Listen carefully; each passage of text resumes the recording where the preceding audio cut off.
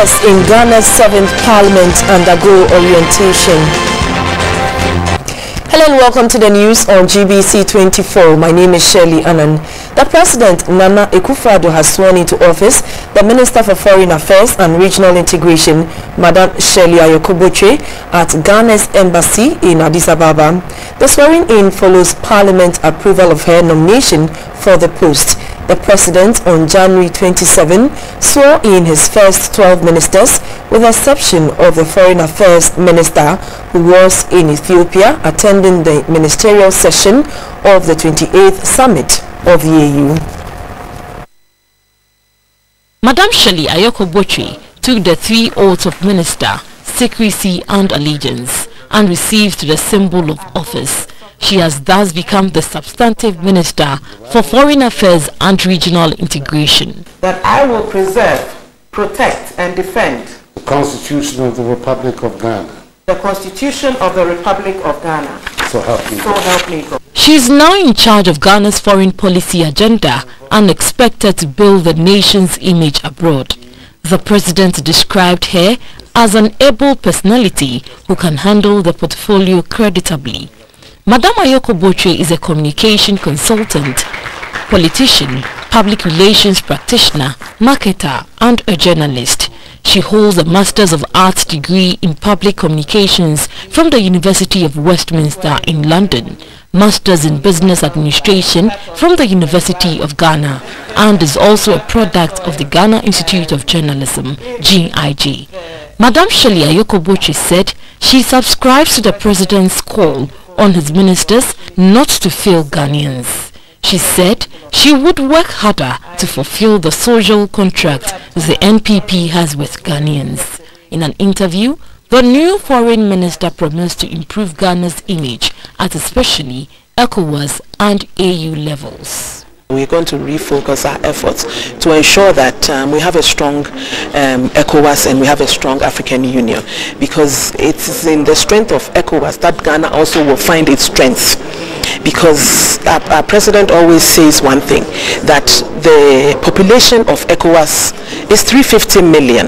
If we are producing if we are adding value to our products and producing, already we don't have to go outside ECOWAS. Already we have a ready market of 350 million population to um, you know trade with. So I think it's important that ECOWAS becomes stronger and we are, we are willing to play that part. In diplomacy and under international Ghana's embassy in Addis Ababa is part of Ghana's territory and therefore the president can extend his functions there. The brief ceremony outside Ghana was therefore within accepted protocol.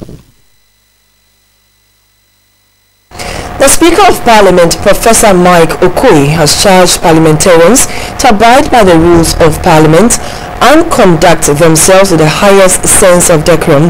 The Speaker was addressing MPs at the opening of a three-day seminar for members of the 7th Parliament at Koforidua in the Eastern Region. This year's induction and orientation seminar had a special session for new members of parliament. The ceremony attended by the leadership of parliament was to officially orient the new MPs on parliamentary practice. Of the 275 MPs, 125 of them are new to parliament. A second session will offer the old members of parliament the opportunity of sharing their experiences with the new entrants in order to improve upon their performance. According to the clerk of parliament, Mr. Emmanuel Anyimadu, the seminar will disseminate information and knowledge to new members and boost their confidence to participate in debates and other business of the House. The majority leader, Mr. Osei Kyei Sabonsu, entreated the members to apply themselves to the issues to be discussed in Parliament. He asked the MPs to carefully read the 1992 Constitution and the standing orders of the House. The relative importance of the two find expression in the size of the two documents. So we know which one to dwell much more on than the other, except to remind that the rules of procedure we will have to assess on daily basis. In Parliament, you come to realize that there are unique terminologies, there are unique expressions, unique procedures, and even unique mannerisms. That is why we all, at the outset, need to be baptized. Thereafter, though, you may require some confirmation. The minority leader, Mr. Haruna Iddrisu, also urged the new members to learn on the job. As we begin today, there are many things you will learn from our experts, but I leave with you the matter knowing that Parliament remains your operating theatre. And like the majority leader rightly said, from today you now have an additional Bible. If you are a Muslim, you have an additional Quran, which is the constitution and the standing orders of uh, Parliament. You can't know it all, but at least know that which will avoid an embarrassment for you. The Speaker of Parliament, Professor Michael Oquaye, said the theme, deepening transparent and accountable governance, strengthening Parliament for nation development, was appropriate as it underscores Parliament's fundamental roles, that of promoting a transparent and accountable governance. When Parliament sits, Ghana fair tashi, Ghana nya atrasi. Every Ghanaian has a representative there. Some are doing their medicine, some are doing their law, others are going to teach in the classroom in the elementary school somewhere. The carpenter that is who is working, the woman who is bringing food from Seshi to Accra. All these people are very important and they are playing various roles so that this country will move on. But lawmaking is also very important and somebody must do it. So their representatives are there to do that job for them. If you consider this, I believe we shall take our work very, very, very seriously. The members will be taken through topics such as roles of the Member of Parliament, the MP and personal security, the scrutiny of legislations, rules of procedures and the conduct of parliamentary business among others. Two of the new parliamentarians, MP for Atebubu Amantin, Mr. Kofi Amoakohene, and MP for Sekondi, Mr. Andrew Mercer, spoke to GBC 24 about the expectation on the seminar. We have listened to the presentation of the speaker. It was very encouraging. Uh, what we are here for has been outlined in his speeches and I believe that the resource person, until they take their seat, we are going to be the beneficiary. I, I think that uh, it's a very useful program. Uh, uh, I'm a lawyer. I've had the benefit of looking at the rules. Uh, my initial expectation was that it was going to be similar to the court rules, but clearly it's different. And because it's a, it's a parliament is a, uh, an institution of record, it's important that you are abreast with the standing orders to enable you uh, function effectively. 1992 and 1994 year groups of the Aburi Girls Senior High School has handed over a refurbished biology lab to the authorities of their alma mater. The project is expected to boost teaching and learning of biology and other science subjects in the school. Life in the 21st century largely science-driven, hence the need for adequate tools and equipment to make the learning of science relevant. The biology laboratory at the Aburi Girls Senior High School was in a deplorable state, making the study of science in the school unattractive. Realizing the need to save the situation, the 92-94 year group of the Aburi Girls Senior High School showed gratitude to the alma mater by giving the school's biology laboratory a facelift and furnishing it with tools and items including dissecting sets, top gloves, a laptop and refrigerators and deep freezers. The president of the 92-94 year group, Dr. Mrs. Richarda Taylor Dawson said for all students to support the alma mater is a matter of course. To be honest, the contractor has done an amazing job. He has lifted the laboratory to a world-class laboratory. We actually promised them when we came for the sword cutting on the 2nd of December that we are going to give them a world-class laboratory. The tabletops, from the floor tiling to the projector, the LCD, the wall charts, the windows, And the interesting thing about the windows now is they don't need blinds. When they are in, there's very clear vision. When you're out, it looks dark to you. So you don't see the things that are in the lab, but then they'll have their peace of mind and they will have excellent lighting to do the work.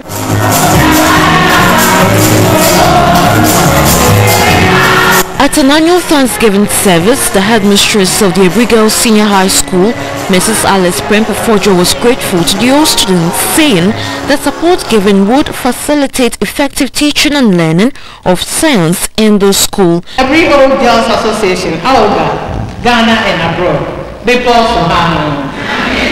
What can the school do without you? We are so very proud of you the many and very challenging projects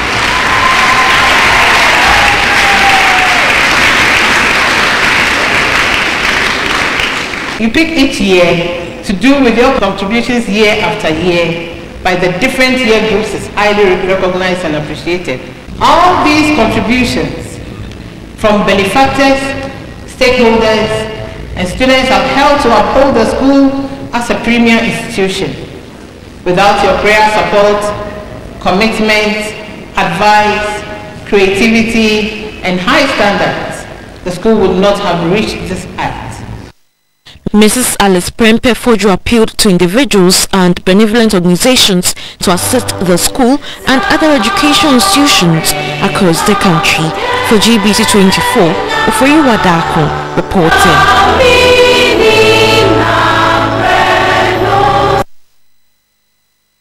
Have you ever considered making a living on farming? For a city dweller, this may not be an option, bearing in mind the drudgery involved without use of machines. Possibly, one is likely to choose an air-conditioned office. Winifred Efum takes you to the farms of three men who are making a strong point that age is a simple number. Meet Papa Phil, an octogenarian who is still actively farming. For Papa Phil, nurturing the soil is a passion he acquired as a young man whilst he followed his late father to his farms. According to him, even though at a point in his life he worked as a civil servant, he never forgot his first love and therefore tilled the land concurrently. On a visit to Papa Phil's farm, we met the man who is bent on defying old age and determined to continue to nurture the soil with a passion. We meet Papa Phil busily sharpening his cutlass to begin the day's work on the farm. While he is at it, a colleague farmer, Papa Atukwe, who is in the same age range with him, also arrives and together they take us through their farms with pride.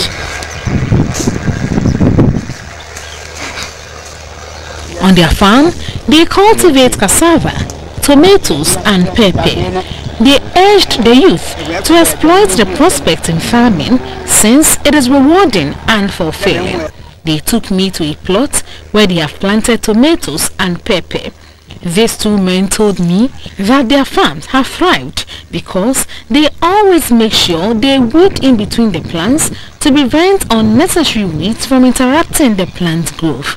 They said that because of the advanced ages, most of the weeding is done through acquired labor because none of their children chose farming as a profession. Wọ́mẹ̀ni wọ̀ hín ẹ̀fà fà fífòfíò ẹ̀ wọ́n ní wọ́n jí mọ̀ni wọ̀ hùn fífòfíò ní àní àkókò yà dáa nù ní mẹ̀ni àkókò yìí. Ṣé báyìí gbélé bàkà báyìí gbélé bàkà ní sọ́wọ́.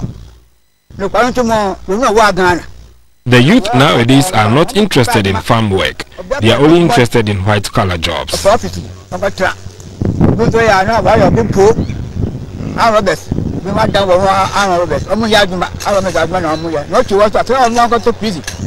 asked for the support of government to complement their work. The government must help us to support our farming businesses because it is cost effective. So I asked how long it took for the pepper especially to mature. It takes about three weeks for the pepper to fully mature.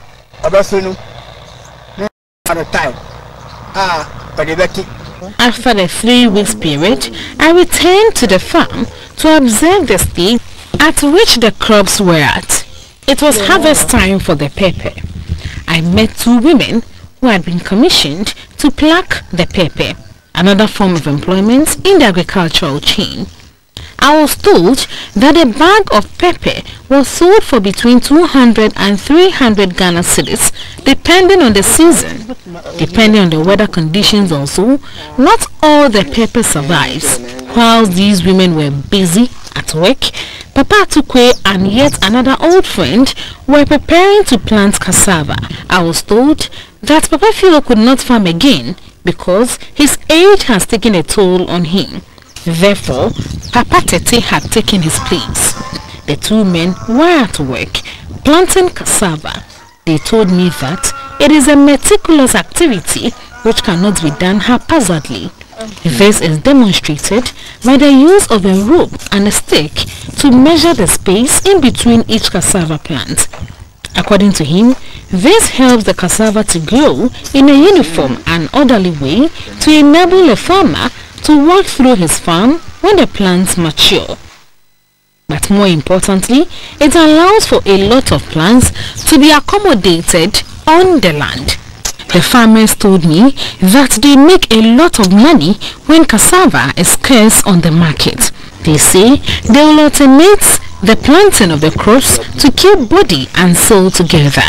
These old men represent the few who believe that age is not a barrier to farming.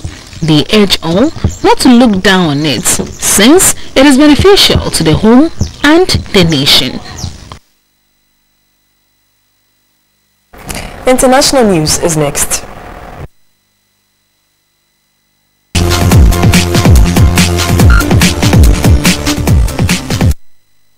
The Black Stars are through to the semi-final stage of the ongoing Africa Cup of Nations Soccer Fiesta in Gabon.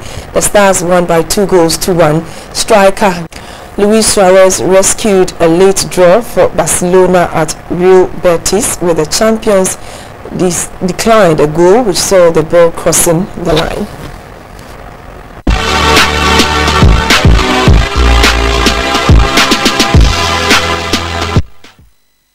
And now to some entertainment news. US singer Rihanna has celebrated the anniversary of the release of the album Anti, released January 28, 2016. The 28-year-old singer took to Instagram to share her past struggles while recording. The weather report is next.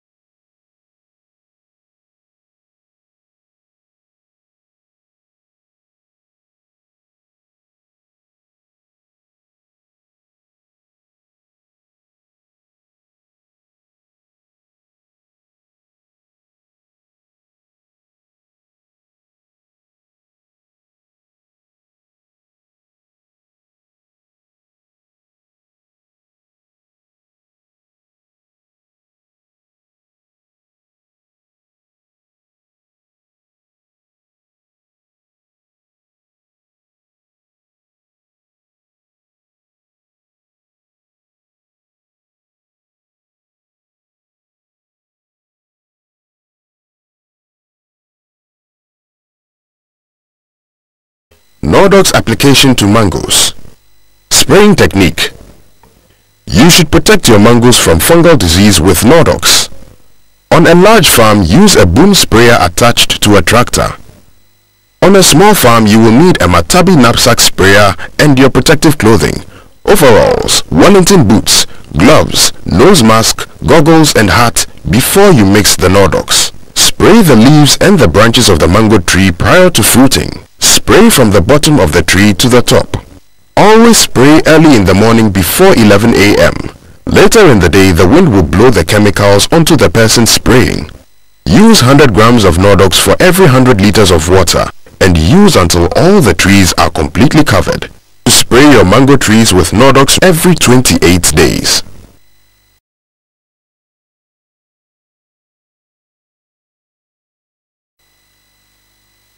And that's all in the news. Thank you for watching.